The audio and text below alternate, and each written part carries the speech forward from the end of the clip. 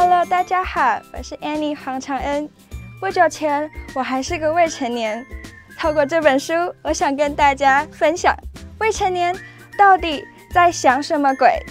精彩内容，请锁定好家庭联播网，台北 Bravo FM 九一点三，台中古典音乐台 FM 九七点七，期待跟大家见面哦。